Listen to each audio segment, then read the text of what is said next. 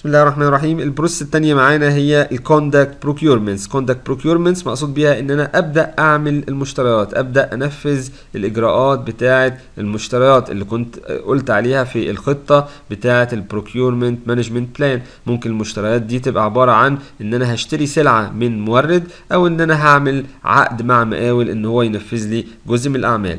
قبل ما نبدأ في ال tools وال techniques في عندنا في ال inputs هنا ال seller proposals ال seller proposals واحد من ال inputs اللي هنتكلم عنها باعتبار إنه جديد معانا. ال seller proposals مقصود بيها العروض المقدمة من ال seller سواء كان vendor مورد أو كان مقاول هيعمل جزء من الأعمال.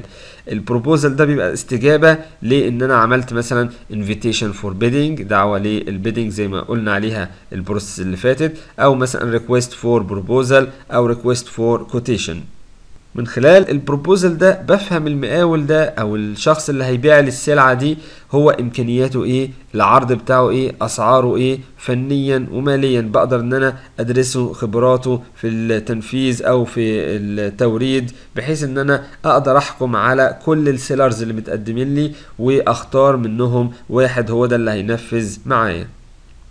ال tools وال techniques هنبدأ بال tool وال technique الأول اللي هو ال bidder conferences عشان ال bidders أضمن إن هم اللي هم المتنافسين يعني أضمن إن هم فعلا هيبقوا فاهمين المشروع بتاعي وكلهم بيسعروا بنفس الفكر وكلهم بيدوني نفس استراتيجية التسعير ومحدش فيهم فاهم الموضوع بشكل مختلف فبالتالي هيسعر أقل أو هيسعر أكتر. وبالتالي هخسره على الفاضي فلازم إن أنا أضمن إن هم فاهمين ده بشكل كويس. فبعمل لهم conference كده بعمل لهم زي اجتماع إن أنا أقول لهم تعالوا يا مقاولين أو يا sellers المتقدمين للعطاء ده أو لل tender ده وقعد أعمل اجتماع معاهم. إيه مشاكلكم في قراية المستندات العطا؟ هل في حاجة مش واضحة؟ على فكرة إحنا نقصد بكذا إن هو هتعملوا واحد اتنين تلاتة المشروع عبارة عن إيه؟ هل ليكم أسئلة؟ طيب لو ليكم أسئلة قولوا لنا عليها. خلال فترة معينة ونبدأ مثلا الأسئلة دي تتجمع ويترد عليها وطبعا الرد لازم يكون للكل مش لواحد بس. يعني لو واحد سأل سؤال لازم أرد للكل بحيث إن المعلومة تبقى متوفرة عند الجميع. فهو ده الهدف إن الناس كلهم يبقوا على مسافة واحدة من فهم مستندات العقد عشان يقدروا يسعروا التسعير المناسب.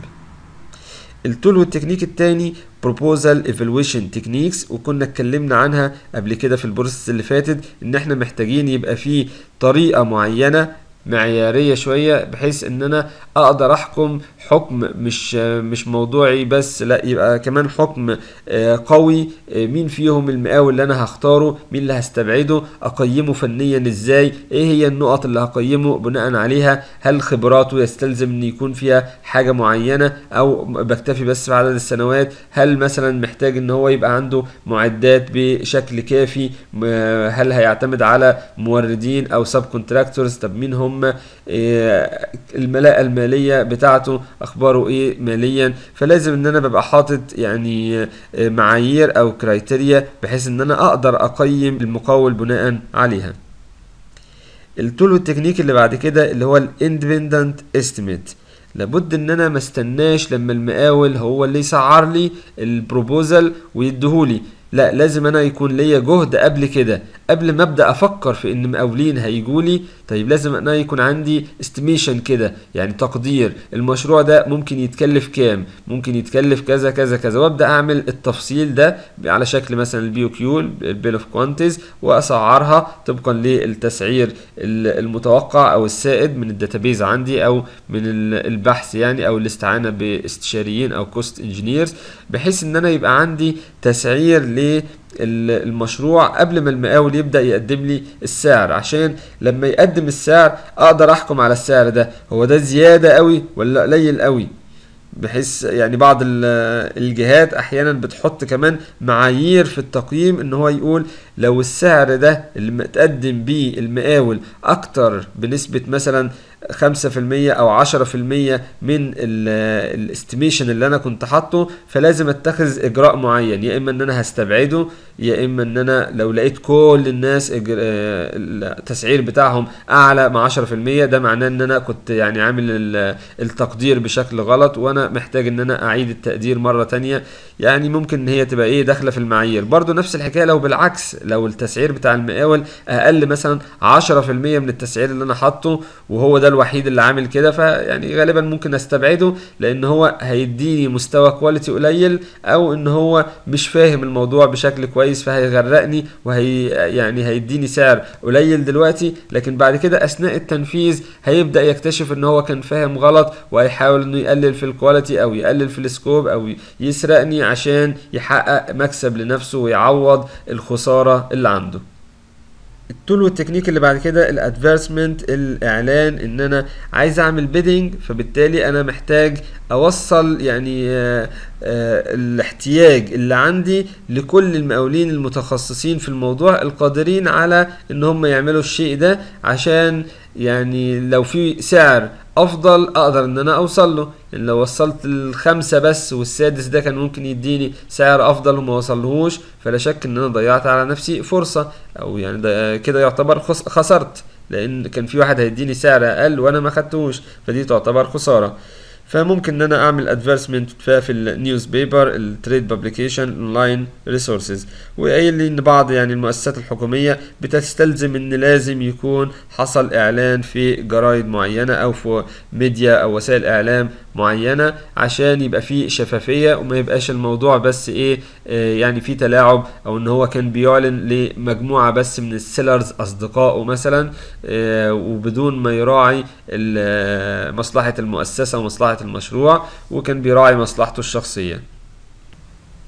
ال tool وال technique اللي بعد كده ال negotiation negotiation يقصد بيها التفاوض. طبعا التفاوض مش شرط بس يكون على السعر. لما بقعد وبتفاوض مع المقاول. ممكن يبقى الكلام في إيه هي الأعمال اللي هتتم. هل محتاجين نزود حاجة منها؟ ممكن يبقى التفاوض على ال terms وال conditions بتاعة العقد. المقاول مش عاجبه حاجة وعايز مثلا إن هو يغيرها عايز يزودها عايز يقللها. الطرق الفنية اللي هنفذ بيها ال schedule. ممكن ساعتها المقاول يديني عرض مثلا إن هو يقلل في ال time schedule أو إن هو يطلب وقت أزيد. أقول له أنا عايز أنفذ المشروع في سنتين هو يحاول يتفاوض معايا إنه ينفذه في ثلاث سنوات أو سنتين ونص. ال payments ممكن المقاول وهو بيتكلم مع المالك يقول له أنت هتدفع لي المستخلص من ساعة ما أقدم ال invoice نفسه. هتاخد فترة قد إيه على ما تديني الشيك أو تصرف لي الدفعة وتحطها في حسابي؟ هل هتاخد 30 يوم 45 60 لا 60 اللي انت كاتبها في العقد دي أنا مش موافق عليها. أنا ممكن أوافق لو نزلتها ل 45 فبالتالي التفاوض ممكن يبقى على أمور كتير مش شرط بس السعر. مدير المشروع ضروري إنه يحضر موضوع التفاوض. ممكن ان هو ما يحضرش بس الأفضل طبعا إنه يبقى بيدعم في موضوع التفاوض لأن قد يتطرق الموضوع لأمور مثلا managerial أو أمور technical ممكن إن هو مدير المشروع وال team اللي معاه يقدروا إن هم يسدوا فيها وما يبقاش بس الشخص المسؤول عن إبرام التعاقد مثلا من قبل المالك هو بس اللي قاعد يتفاوض مع المقاول والمقاول يسرح بيه ويروح ويجي بيه ويقول له أصل الموضوع فنيا ما ينفعش وأنتم مش واخدين بالكم والموضوع أكبر من كده ويعني يقعد يحكي له حواديت فلازم يقدر ساعتها مدير المشروع وال team بتاعه إن هو يرد على الكلام ده كله. هنا جايب لي بعض ال tactics اللي ممكن أستخدمها في النيجوشيشن ونراعي طبعا يعني إن ممكن منها يكون خارج عن الأداب العامة لابد أن يكون الموضوع فيه مراعاة للأخلاقيات طبعا. التكتيك الأول هو ال attack إن أنا أهاجم. دايما المقاول لما بيتهاجم بي بيجيب لورا شوية وبيبدأ إن هو إيه يعني يعيد حساباته. ال personal insults ممكن ده يبقى يعني أحد ال techniques مثلا اللي هم حاطينها لموضوع ال negotiation ال good guy وال bad guy إن يبقى في اتنين بيتفاوضوا مثلا اتنين من طرف قصادهم مثلا المقاول والاتنين دول واحد فيهم يشد قوي ويتنرفز عليه والتاني يبقى هو الشخص الطيب اللي يحاول يصلح بحيث إن هو إيه لما يشد عليه الشخص الأولاني. ويقول له لا خلاص إحنا مش هنشتغل معاك مع السلامة لا لا إحنا مش هنشتغل بالشكل ده مش عايزين إحنا الكلام ده فيبدأ المقاول ينخ شوية يحس إن الموضوع هيضيع يدخل الجود جاي أو الشخص الطيب يبدأ يحاول يصلح بقى يقول لهم طب خلاص حاول نحاول نوصل لحلول وسط ومش عارف إيه. ويعني آه، يكلم المقاول على جنب يقول له ما تزعلش أنا هحاول أهديهولك بس أنت حاول تنزل السعر شوية. الكلام ده الراجل يعني آه، يضرب ويلاقي يعني. ال deadline إن أنا أحط deadline أثناء النقاش نفسه. أنا عمال بتفاوض ولقيت المقاول مش راضي إن هو يستجيب معايا. أقول له يلا بس بسرعة عشان أنا أنا ماشي. أنا ماشي عشان في بس ميعاد طيارة لازم ألحقه دلوقتي. فيعني قول السعر بتاعك عشان إيه ننجز يعني. فأحاول إن أنا أضيق له الوقت إن هو بيتكلم فيه وعايز يعرض فيه زيادة عشان يبرر يعني التسع... التسعير بتاعه. ال limited authority إن أنا أقول له أنا بتفاوض يعني بص أصل دي صلاحيتها أنت طالب حاجة كبيرة قوي دي لازم تطلع للوزير يعني والموضوع هيطول بقى وهياخد وقت طب ما خليك يعني في حاجة سريعة كده يعني خلي المبلغ قليل بس.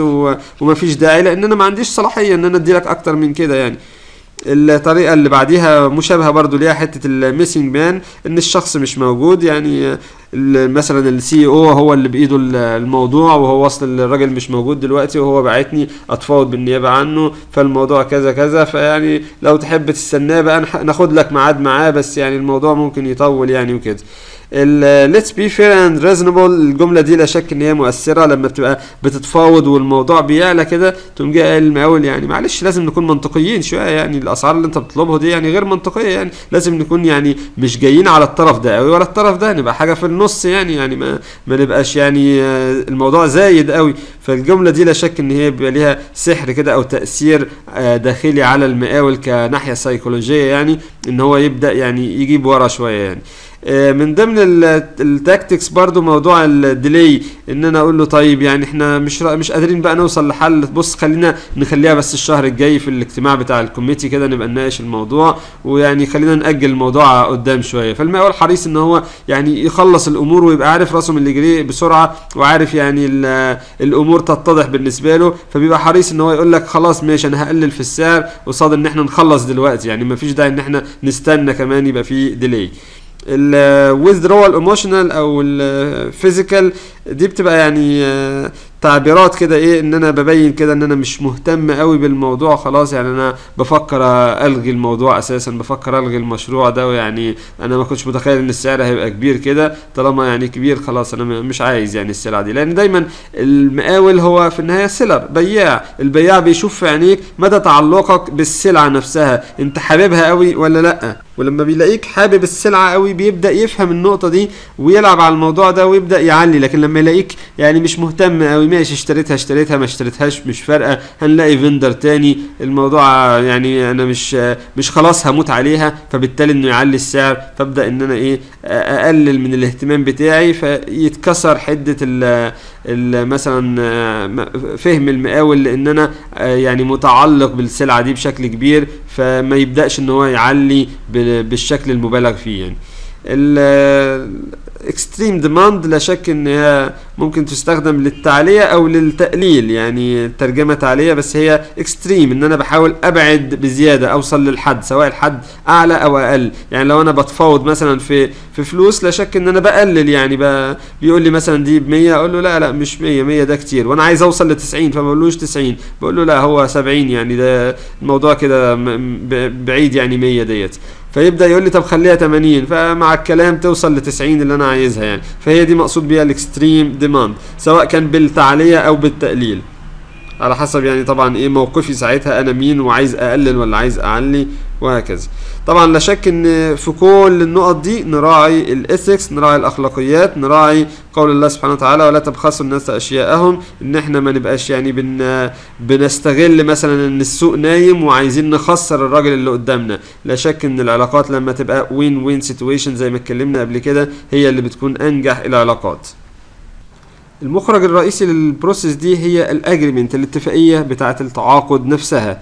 الاتفاقية طبعا بيبقى فيها terms و condition بيبقى فيها شروط تعاقدية بتقول إن على المقاول إن هو يعمل كذا كذا نظير مثلا إن المالك هيدفع له الحاجة الفلانية. ولا شك إن هي بتبقى ملزمة تعاقديا يعني بيبقى فيها عدم ال- الايفاء أو عدم الالتزام بالشروط التعاقدية بيعرض الشخص للمسؤولية القانونية. فعشان كده بنسميها binding legal agreement يعني اتفاقية آه، اتفاقية رابطة تعاقدية أو ملزمة قانونية سواء ملزمة للطرفين ملزمة للمقاول إنه يعمل ال service أو ال product المفروض يعملها وملزمة لل buyer نفسه ان هو يدفع له ويديله التعويض اللي هو مستحق له.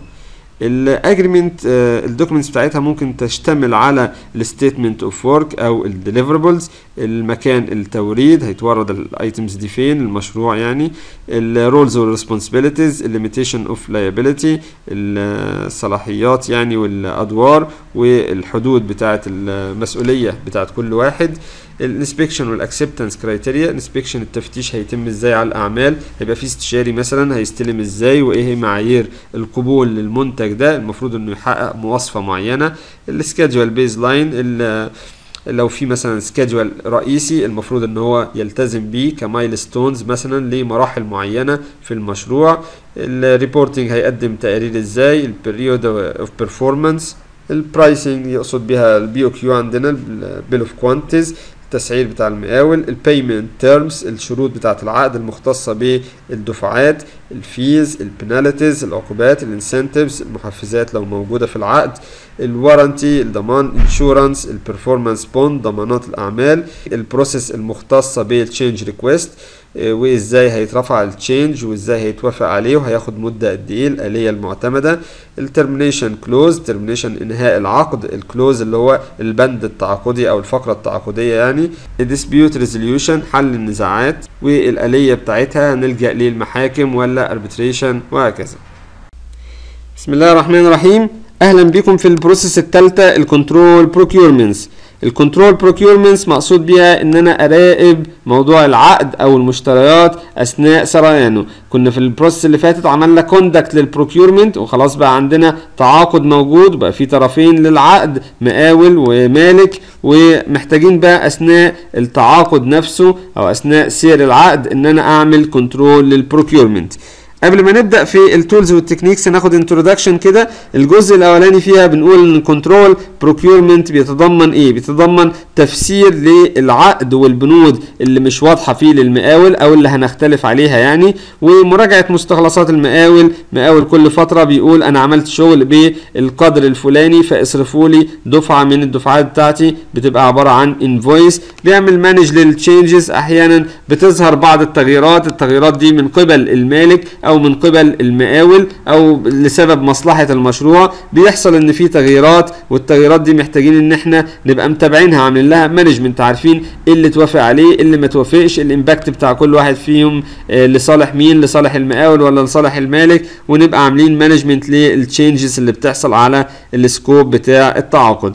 resolve disputes بنحل الخلافات والنزاعات اللي بتحصل وبنراجع المطالبات المقدمة من المقاول اللي بيطلب فيها مدة زمنية زيادة بسبب حاجة معينة أو اللي بيطلب فيها قيمة مالية معينة بسبب أوامر تغيير أو بسبب extra quantities هنا بيديني بعض ال notifications كده أو التنبيهات إن هو بيقول لي خد بالك لو المقاول يعني متعثر ماليا أو عنده مشاكل مالية ممكن إن هو يبقى له بعض الحيل على حسب نوع ال contract لو ال contract ده كان fixed price كنا قلنا طالما fixed price يبقى ال risk على المقاول لأن المقاول هو اللي كان خلاص حط السعر واتفقنا عليه اشتغل بقى يا مقاول. طيب ساعتها حس إن هو ممكن هيبقى خسران أو عنده مشاكل مالية. طب يعمل إيه؟ يحاول إنه يقلل مستوى ال quality فأنا لازم عيني تبقى على الجودة. يحاول إنه يقلل من ال scope. كنا هنبني ست مباني الاقيه عمال يقنعني إن أربعة كافيين بس مفيش داعي إنك تعمل ستة. وهو يعني هدفه الرئيسي إن هو يقلل الخسارة بتاعته من خلال تقليل ال scope. ممكن برضو إن هو يتطلع إلى أوامر التغيير ويبقى حريص إن يبقى فيه أوامر تغيير عشان يسعرها بسعر أعلى من سعر ال bidding فيكسب من وراها مكسب كويس لأن أوامر التغيير بيبقى خلاص المقاول رسي عليه العقد وهو مفيش غيره موجود فبنقول له لو سمحت بالمرة طالما أنت شغال في العقد اعمل لنا التغيير ده. فيقول لنا آه بس ده هيكلفكم الشغل الفلاني هيكلفكم كذا. ليه؟ ما هو خلاص بقى انتهى موضوع ال bidding. أيام البيدنج في البداية قبل ما يرسى على مقاول معين كان أكتر من مقاول وبيتنافسوا وكلهم عمالين يحاولوا يضربوا الأسعار وينزلوا أسعار بعض لكن دلوقتي هو قاعد لوحده وعمال بقى إيه يتحكم يعني أقصى إنه ممكن يجيب يعني عروض أسعار مثلا ولا شيء ولو أنا ما قبلتش هيقول لي لا خلاص طيب أنا مش هنفذ مثلا لو مفيش بند في العقد بيقول الكلام ده ممكن يقول لي لا خلاص أنا مش هنفذ الموضوع ده ويحاول إن هو يتشرط ويبقى يعني معاه اليد العليا في التفاوض شوية يعني. بالنسبة لل time and material contract وكنا قلنا إن العقد ده بينفع بشكل كبير لتوريد service معينة أو resources معينة زي الخدمات الاستشارية وكده. ساعتها بيبقى مهتم أنا بشكل كبير إن أنا يعني أعمل day to day direction على ال seller نفسه ويعني أبقى عارف مثلا الأفراد اللي هو جايبهم لي دول شغالين في إيه النهارده بكرة بعده ليهم plan معينة ليهم نهج معين شغالين بيه. الناس دي عددها كبير ولا عددها مظبوط كده؟ هل محتاج أعمل downgrade في الأعداد تقليل في الأعداد شوية. هل الشغل بتاعهم فعلا effective هل مدة المشروع محتمل إنها تطول زيادة؟ لأن المقاول مش فارق معاه. بالعكس ده هو بيكسب زيادة. كل ما المشروع يبقى أطول يعني هو عمال بيكسب. ممكن المقاول ده ساعتها يبقى استشاري وهو بيبقى seller ساعتها بيعمل selling لل service. فهو ممكن يبقى استشاري مثلا أو حد بيعمل outsourcing لمجموعة من الأفراد ال team فبالعكس هو فرحان إن الناس دي قاعدة وعمال بيعد من وراهم والمالك محتاج إن هو يراقب النقطة ديت عشان مدة العقد ما تطولش. النقطة اللي بعديها قلناها اللي هي number of hours spent in work is reasonable. هل الوقت اللي بيقضوه في العمل ده يعني منطقي ولا لأ؟ ولا الناس يعني بتدلع زيادة؟ لأن خلاص بيبقى الموضوع بقى إيه؟ معايا أنا ال administration وال leading بتاع الموضوع. إن أنا أشوف فعلا ال staff ده شغال بالفعل ولا يعني شغال نص نص بكفاءة ضعيفة. قاعدين على النت طول النهار وما ما بيشتغلوش غير حاجات بسيطة وأنا مش واخد بالي لأن أنا مش هعرف أتابع الناس دي كلها. فمحتاج يعني إن يبقى ليا طريقة معينة من ال control على الأفراد. بالنسبة لل cost reimbursable هنا ال risk ية بقى على المالك لأن المالك بيقول له اشتغل وأنا هدفع لك اللي أنت عملته كله.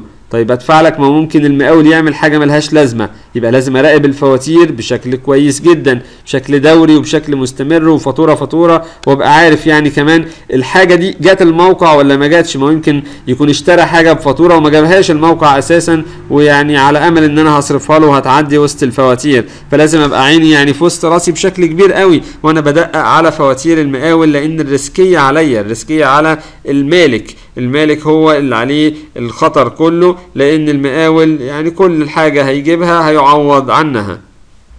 طيب اللي نبدأ في التولز والتكنيكس التول والتكنيك الأول هو ال contract change control system وده يعتبر جزء من ال integrated change control system نظام التغيير المتكامل أو إدارة التغيير أو التحكم في التغيير المتكامل. ده محتاج إن أنا يبقى عندي process أو آلية بتقول لي أنا هعمل التغيير على العقد ده إزاي. العقد لا شك إن هو جزء من المشروع. زي ما قلنا إن العقد أو المشروع ما بيبدأش بس بالمقاول. المشروع بيبدأ من قبل كده وممكن المشروع يبقى فيه أكتر من مقاول فبالتالي ممكن يبقى فيه أكتر من تعاقد. في نفس الحكاية أنا عندي ممكن يبقى نظام تغ...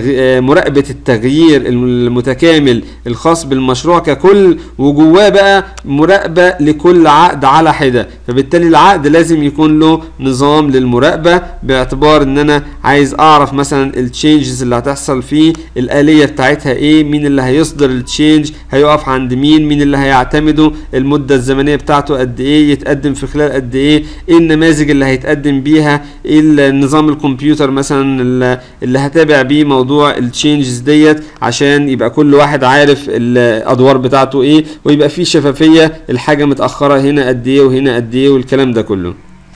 ال tool وال technique اللي بعد كده ال procurement performance review مراجعة الأداء بتاع التعاقد. وده مشابه بشكل كبير لل status review أو مراجعة الأداء أو مراجعة الموقف الحالي للمشروع. فبحاول يعني إن أنا أعمل تقدير كمي أو quantifying قدرات المقاول وادائه هل بيأدي بشكل كويس؟ هل البنود التعاقدية كلها بتتنفذ ولا لأ؟ أحيانا بعض البنود التعاقدية ممكن إن هي تقاس بالعدد زي مثلا أعداد ال technical submittals منها اللي يقاس بالما بال بالقيمة المالية منها اللي ممكن يقاس بال resources وال units منها ممكن يقاس بالمدد الزمنية وهكذا. في طرق كتير إن أنا أقيس بيها مدى نجاح التعاقد أو يعني البنود نفسها بتتنفذ ولا لأ؟ على سبيل المثال ممكن يكون من ضمنها توريد حاجة معينة. طب هل الكميات بتاعت التوريدات دي مظبوطة ولا لأ؟ توقيتاتها الزمنية مظبوطة ولا لأ؟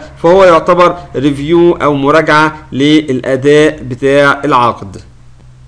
ال tool وال technique اللي بعد كده ال payment system ال payment اللي هي الدفعات اللي أنا هدفعها للمقاول كمستخلصات أو إن أنا بدفع على شكل معين مثلا لو هي بشتري بس سلعة مثلا ب purchase order وبدفع معظم التكلفة في البداية مثلا على حسب السلعة نفسها ونوع ال procurement نفسه. فلا بد إن أنا يبقى عندي system يقول لي أنا هدفع إزاي. على سبيل المثال لو عندي مقاول وقاعد معايا سنتين طيب أنا هدفع له مثلا كل شهر ولا أقل ولا أكتر مسموح له إنه يقدم مستخلص كل بداية مثلا كل شهر والمستخلص ده يعني قيمته هتدفع له بعد 30 يوم من تقديمه. طيب عشان يتقدم المستخلص لازم تكون البنود اللي فيه اتراجعت من خلال الجهة الإشرافية اللي هي ممكن الاستشاري الإشراف على التنفيذ باعتبار إن هو يكون وقع لي على إن الأعمال دي فعلا authorized وإن هي الأعمال دي صحيحة و valid طبقا لمعايير الجودة.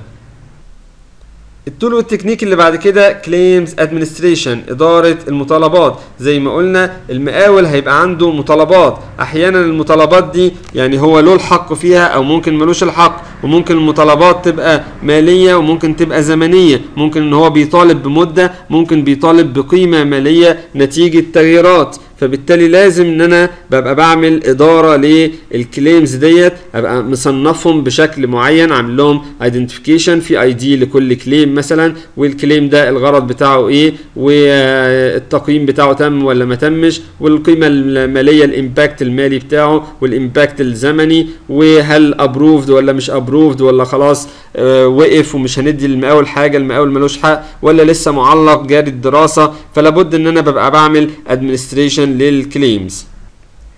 بعض ال claims ممكن إن هي تتحول ل dispute باعتبار إن المقاول طالب بشيء وأنا قلت له لا مالكش حق. فبدأ إن هو يقول لا أنا ليا حق. فبالتالي ده يبدأ ينشأ نزاع. والنزاع ده قد إن هو يبقى يبدأ بنيجوشيشن مثلا إن إحنا بنحاول نوصل لحل أو ممكن يتطور إن هو يوصل لوساطه أو لتحكيم أو لقضاء على حسب ال sequence اللي إحنا كنا متفقين عليه في العقد. لما يحصل dispute هيكون الحل أو ال solution هيمشي إزاي؟ بأنهي process فهو هنا كاتب لي ان ال settlements of claims and disputes through negotiation is the preferred method. باعتبار إن هو يعني مش هيبقى مكلف وهيبقى هو الأسهل والأسرع والأفضل لمصلحة المشروع. إن يعني تتم كل حاجة عن طريق ال win-win situation يبقى الاثنين كسبانين يبقى المقاول فعلا لم يهزم يعني في حاجة زي كده وما حسش إن هو اتضحك عليه. وفي نفس الوقت المالك ما دفعش حاجة مبالغ فيها والمقاول يعني ضحك عليه.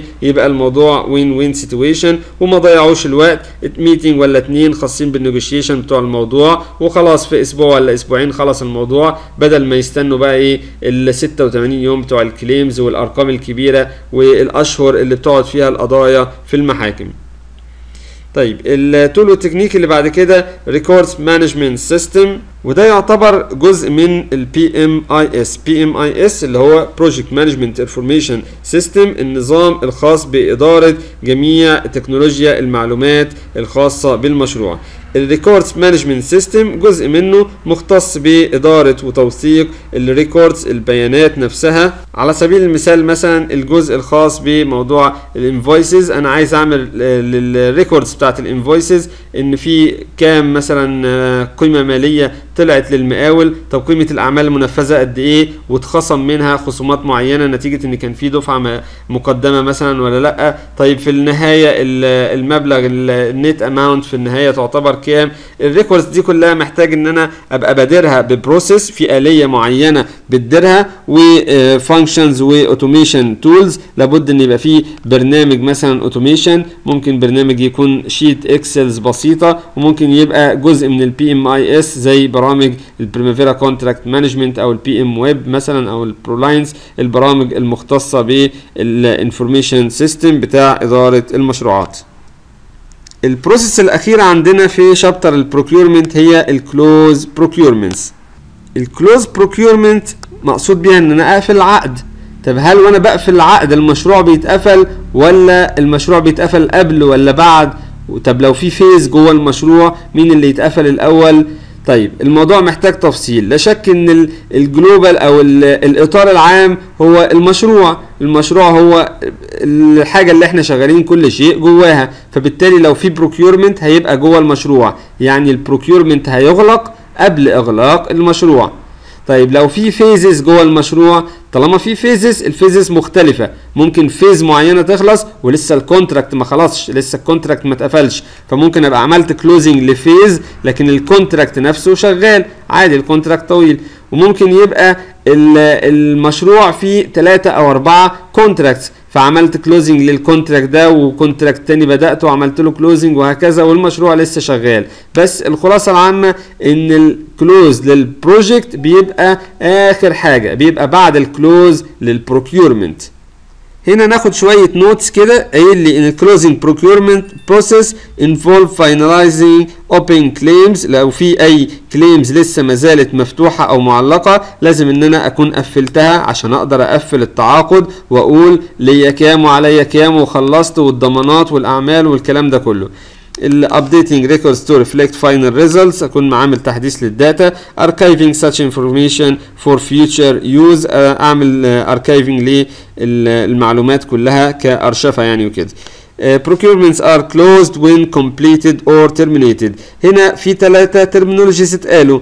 Close لل procurement complete لل procurement termination لل procurement وقال سواء حصل completion أو termination الاثنين دول بيعملوا closing لل procurement طيب ال completion ان العقد خلاص خلص عملنا كل اللي كان مطلوب والمقاول خد ال consideration بتاعته أو ال ال ال الأتعاب بتاعته. فبالتالي خلاص خلص العقد وحصل له completion فهنقدر نعمل close لل procurement أو إن حصل termination termination يعني العقد انتهى من النص. حصل فيه فسخ معين مثلا نتيجة إن هم متفقين أو غير متفقين بغض النظر. بس حصل termination لل contract وبناء عليه نقدر نعمل close لل procurement طيب هنا بيقول لي برضو على ال administrative closure ال administrative closure ده اللي اتكلمنا عنه من شوية وقلنا ال closing بتاع مرحلة أو المشروع. وقلنا إن هو مختلف عن ال closing بتاع ال procurement وفصلنا فيه تفصيل مناسب.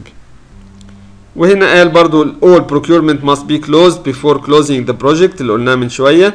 و procurement closing activities هنا جايب الأنشطة اللي أنا ممكن أعملها بقى في الإغلاق بتاع التعاقد قايل لي ال product verification أتأكد من ال product نفسه هو ده خلاص المناسب للشيء اللي أنا عايزه مش محتاج فيه تعديلات ولا تغييرات.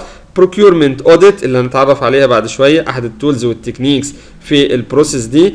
Settlement of all negotiation and final payments. لو في أي negotiation كانت لسه معلقة إن إحنا مش متفقين على change معين أعمل له settlement أعمل له يعني ترسية أو إنهاء للموضوع. والدفعات الأخيرة الخاصة بالمقاول إن هو ياخدها طبقا للشروط اللي متفقين عليها سواء هياخدها مباشرة ولا هياخدها بعد سنة من التسليم الابتدائي. يحصل تسليم نهائي زي ما متعودين في ال construction archiving procurement documents هارشف الوثائق بتاعة المشروع زي ال contract ال change submitter reports inspection reports كل الوثائق اللي كنا بنستعملها أثناء فترة المشروع هقفلها كخطوة من خطوات ال procurement closing هنا يتكلم بقى على ال tool وال technique اللي قلنا عنه اللي هو procurement audit. دايما ال audit بيحصل عبارة عن تفتيش على المشروع من جهة مختلفة عن ال team بتاع المشروع. لكن جوه الشركة يعني الشركة عندها مثلا مكتب رئيسي رايح يفتش على المشروع. طالعين من ال headquarter بتاع المشروع بتاع الشركة رايحين يعملوا audit على المشروع. أهداف ال audit ده بيبقى إيه؟ بيبقى عايزين نعرف مثلا هل ال contract ماشي بشكل مظبوط؟ هل في نجاحات أو إخفاقات في في العقد نفسه تحتاج إن إحنا يعني نسجلها عشان نستفيد منها ك lessons learned في المستقبل ويعني تسجل النتائج دي كلها في reports أو lessons learned. وبكده يبقى خلصنا ال process الأخيرة ال close procurement وخلصنا ال chapter بتاع project procurement management